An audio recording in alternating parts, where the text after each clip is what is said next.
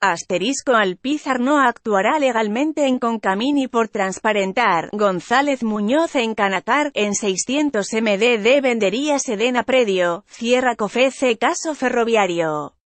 Aunque no hay nada definido ayer trascendió que EU podría exentar a México de la imposición de aranceles al acero y aluminio, lo que sería un cambio de señales al planteamiento inicial que formuló Donald Trump la semana pasada. Desde entonces Trump ha recibido toda clase de manifestaciones de rechazo. Ayer miembros del Congreso, entre ellos Kevin Brady, cabeza del House Committee on Ways. Si México y Canadá quedan fuera de la polémica acción, el ambiente tenso con el que se cerró la séptima ronda del TLCAN este lunes, se distenderá de cara a lograr un mayor avance del acuerdo. En nuestra relación con EU además del acero, recién trascendieron noticias con respecto al azúcar y tomate.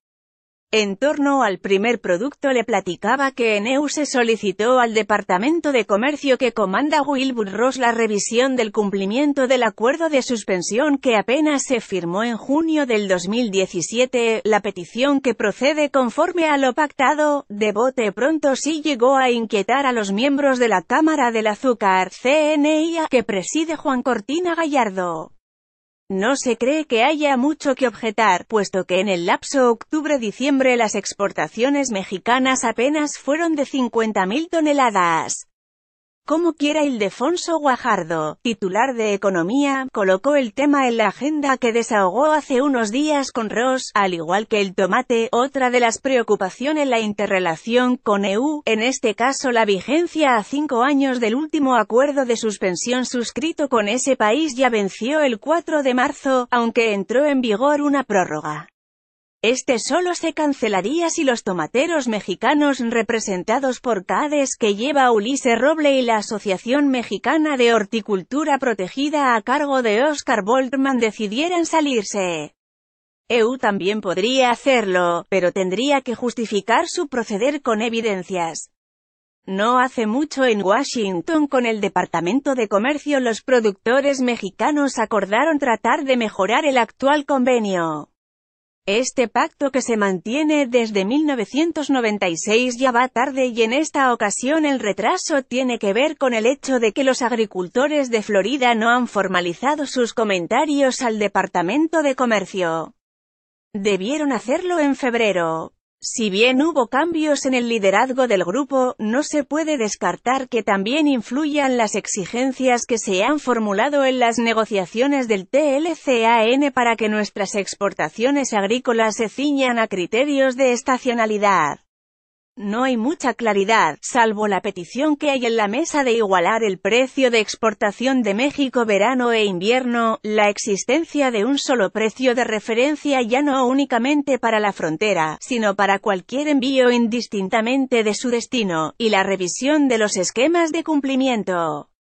Vale señalar que de manera paralela el International Trade Commission, ITC, ya inició una auditoría del desempeño del último acuerdo para evaluar si prevalece el daño por dumping que lo motivó, o si este desapareció, si este es el caso quedaría sin validez el convenio, lo que tendría sus bemoles para el intercambio del tomate de México a EU, como quiera habrá que esperar a que los agricultores de Florida terminen de deshogar la margarita, asterisco asterisco asterisco le puedo corroborar que Rodrigo Alpizar ya no detonará acciones legales para obligar el próximo 15 de marzo a un nuevo recuento electoral en Concamín.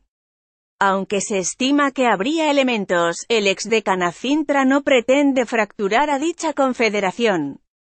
Lo que sí pedirá en los próximos días es el transparentar los resultados, lo que fundamentalmente contribuirá a legitimar a Francisco Cervantes, asterisco asterisco asterisco el próximo martes habrá asamblea en Canacar, y el principal punto de la orden del día será la toma de posesión de su nuevo presidente, en este caso Enrique González Muñoz, transportista de León, Guanajuato, y que justo es el vicepresidente de la zona Centro Bajío. Va a relevar a Rogelio Montemayor Morino, quien ya concluyó su periodo de tres años.